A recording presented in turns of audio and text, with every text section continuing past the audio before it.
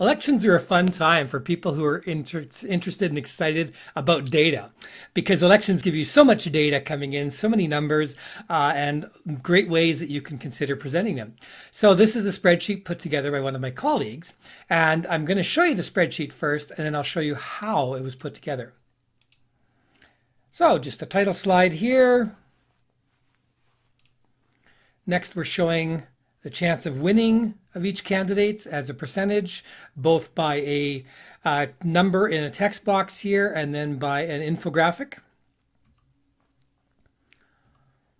Showing the popularity of votes using a bar chart. And then we're choosing to show the electoral votes using a meter for both uh, presidential candidates. Then we have some fun with a map of the US where we're showing who's leading the polls per states and how much. And then we decided to show just those states that are the closest in the polls and which states are considered the tipping points. So how is that put together? So first off, uh, always we always start with the data, and the data is essentially here in this uh, UX elections um, spreadsheet where we've downloaded, where we've got a lot of data that we've pulled from from some polling information. So this is just taken from from one of the online polling sites, and you know then we've pulled it into pulled pulled all that data together. If you had access to real-time data during the elections, you could do it there. So to start off with, we created a connection using DataPoint and we go, you see down here, it's just connected to that Excel spreadsheet. Could be other sources, MySQL, JSON, Twitter, XML, like any other feeds you want. But in this case, it's Microsoft Excel. And then we've created some queries to gather the information out that we wanted.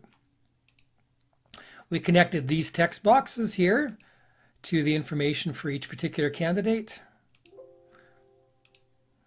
And down here, text box connected. And you can see the numbers showing there. And then what we did was we created a rectangle up here uh, that, that shows these particular, you know, and we've turned that into a meter.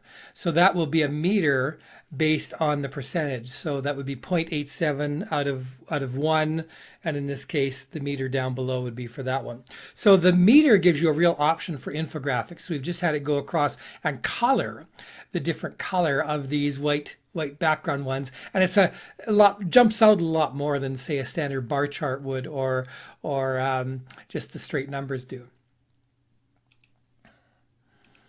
For these bar charts, once again, they are a meter just set up and it shows us as a percentage. And for fun, we used a, you know, a flag as the bar chart instead of a boring color. For the electoral votes, once again, this is also a meter, and you can see that the meter rotation has been set out of 540 total electoral votes. This one has 340, so it's been set to use that rotation there. So very easy to set up the two meters this way. And then we started with a background of the uh, states. And then for each state, each of these text boxes is connected to, uh, you know, the particular state that's involved there. And we were also, um, if you go to the rules here, we set up a rule that if the person's winning is Donald Trump, then they're going to be one color, you know, they're going to be red. If the person winning is uh, Joseph Biden, then it's going to be a black color of blue. So this is a great way to be able, at a glance, to tell which states are, are leading. And down here, what we've done is we've set it up so that um, in order to show the states that are closest, we basically set up another rule that says don't include this state if it's um, greater or e than or equal to 0.05 percent, change the back color and the fore color to black. So it just blacks out that state in the event that you know that it uh, is beyond that. So now we're only going to show the states that are within five percent on the polls. And similar thing here in this case, we're just showing the um, state name instead of the number, uh, but you know we've still got the same rule applied.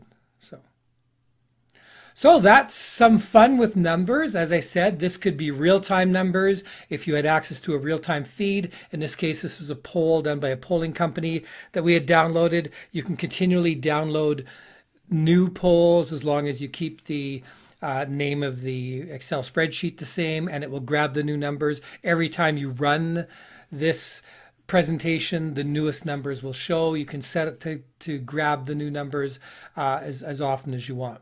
So that's how to set that up. Uh, if you've got any questions about how to set up your own electoral maps, your own uh, election poll results, your own election poll data, please contact us.